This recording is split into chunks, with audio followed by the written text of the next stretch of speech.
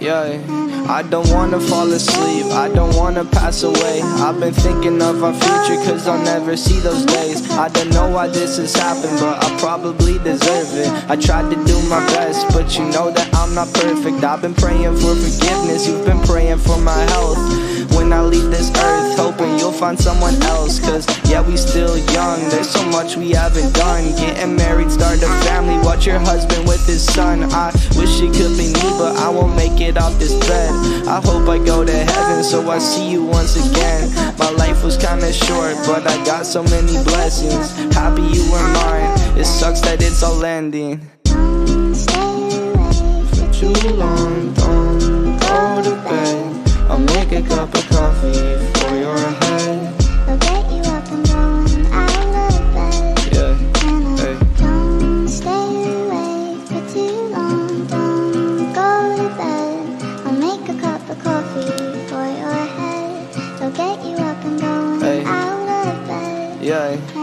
I'm happy that you here with me. I'm sorry if I tear up. When me and you were younger, you would always make me. Assalamualaikum warahmatullahi wabarakatuh. Sobahul khair ayuhat tulab wa talibat. Halukum jami'an? Tayyib, bi khair, alhamdulillah. Semoga semuanya baik-baik saja ya. Masih semangat kan de- dengan pembelajaran online atau daring ini pada hari ini? Harus semangat dong ya. Toyib. Hari ini kita akan membahas tentang teknologi al-i'lam wal ittisal. Tapi sebelum itu, marilah kita bersama-sama membaca basmalah. Bismillahirrahmanirrahim. Tujuan pembelajaran kita hari ini diharapkan peserta didik mampu memahami kosakata yang telah dipelajari. Yang kedua, melatih dan memahami isi percakapan. Yang ketiga, memahami susunan kalimat dan kaidah yang dipelajari. Dan yang keempat, mampu menulis kata, frasa, atau kalimat tentang teknologi al-i'lam wal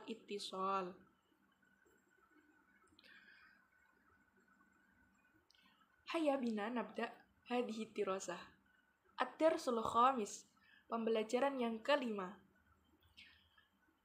Pembelajaran yang kelima, yang kelima ini membahas tentang teknologi al-i'lam wal ittisal.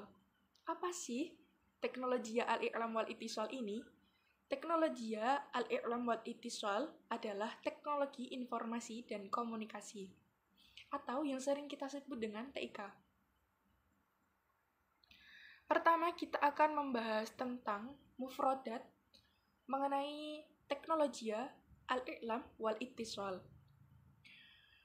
Eh, pada pada mufrodat kali ini, saya akan sedikit mm, menyampaikannya dengan istilah bahasa Inggris karena teknologi eh, kita tahu eh, banyak menggunakan atau kita sering mengenal dengan istilah bahasa Inggris. Mufrodat yang pertama, syashatul has, syashatul hasub, atau eh, layar komputer atau monitor, lauhatul mafatih, papan kunci atau keyboard, al-arbun, permainan, al-fa'roh, mouse, ismul malaf,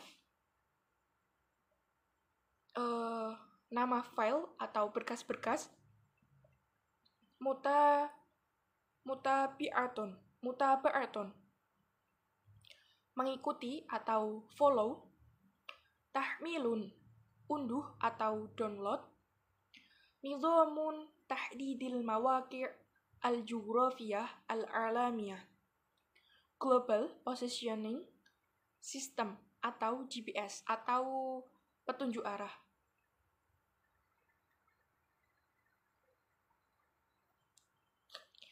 Lalu ada WiFi atau WiFi, uh, jaringan tanpa jaringan tanpa kabel, hasubun mahmulun, komputer jinjing atau laptop, ikhtirokon, pembobolan atau hack, robu, robuton atau al-insan, al-ali, robot atau android, syashatun lamsiyatun, uh, layar sentuh atau touchscreen, syahinun, pengisi daya atau charger. Mungkin itu beberapa mufrodat tentang teknologi al-i'lam wal ittisal atau teknologi informasi dan komunikasi. Selanjutnya adalah hiwar. Iqra wa afham. Dengan judul Adraru al-abul elektroniyah al-maftuhah. Al-mudarris. Ma ra'yukum?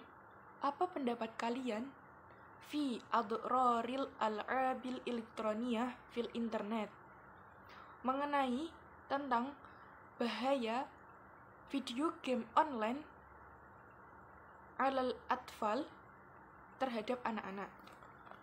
Salma, qad takunu lil al'abil elektroniyah Terkadang bermain video game online adrorun berbahaya alal atfali terhadap anak-anak idza la'ibwa kathirat kathiron jika berma jika banyak bermain wapistimror secara terus-menerus wamin tilkal adror dan di antara bahaya tersebut adalah ihmalu mas'uliyatihim asyaksiyah acuh terhadap tanggung jawab awit awil iliyah tak tanggung atau tanggung jawab keluarga awit ta'limiyah atau tanggung jawab belajar. Sabrina Wa minal janibis sihi dan dari aspek kesehatan innaha sesungguhnya video game online tu'athiru fi sihatil badaniyati berpengaruh pada kesehatan badan wal akliyah dan kesehatan mental. Kasum kasunnati seperti kegemukan bisa babi kathrotil akli karena banyak makan, waktu latil harokati dan sedikit bergerak. Wa amrodul uyun dan penyakit mata bisa babi kathrotin nadori karena terlalu banyak melihat ila syashatil jawalidzaki ke layar HP atau smartphone Lifat lifata rotin towi latin.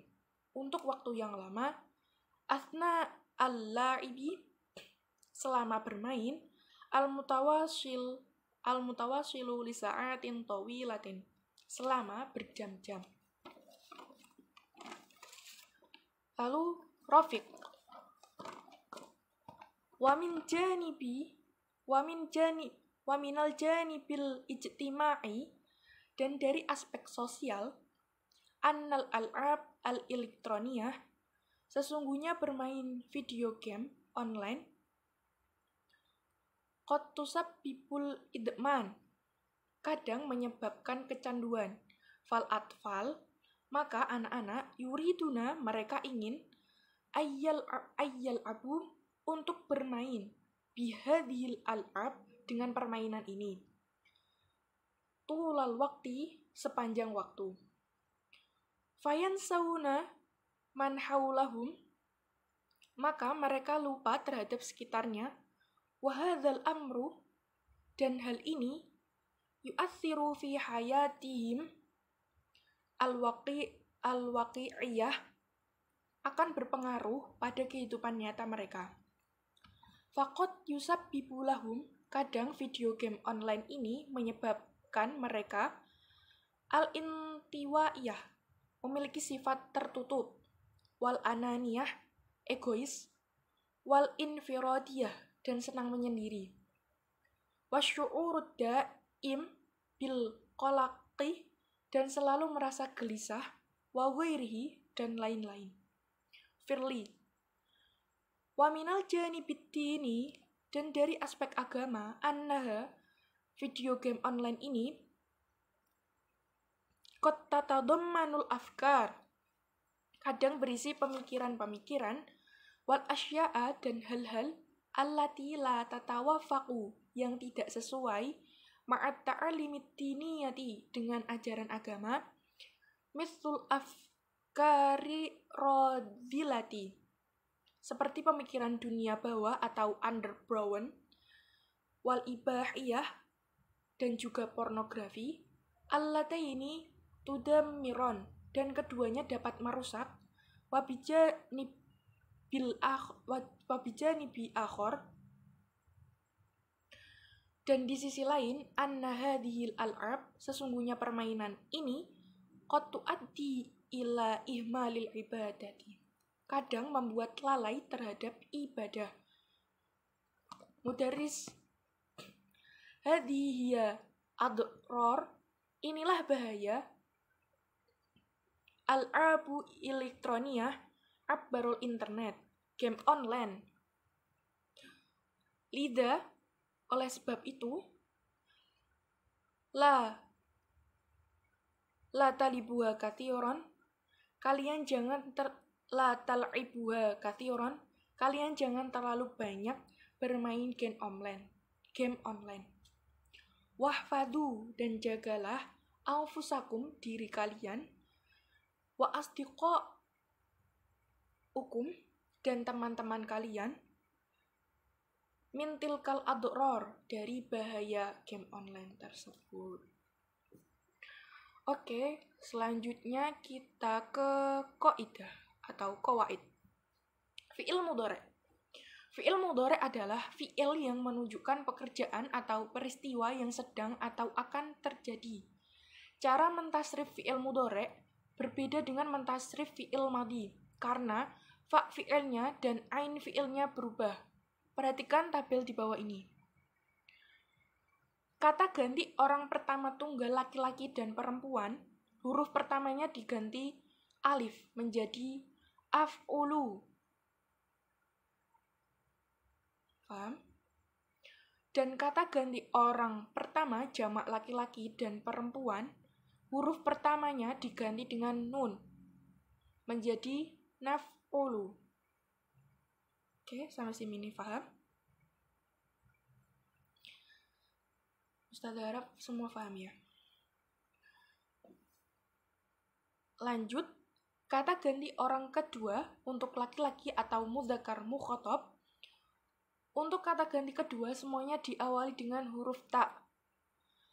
Anta menjadi taf'ulu, antuma menjadi taf'ulani, antum menjadi taf'uluna.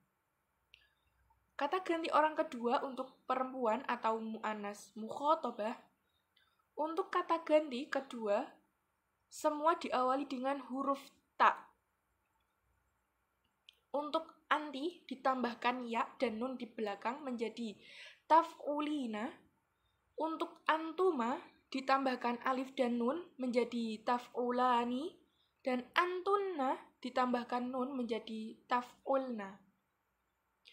Kata ganti orang ketiga untuk laki-laki atau mudakar goib huwa menjadi yaf'ulu, huma menjadi yaf'ulani, dan hum menjadi yaf'uluna.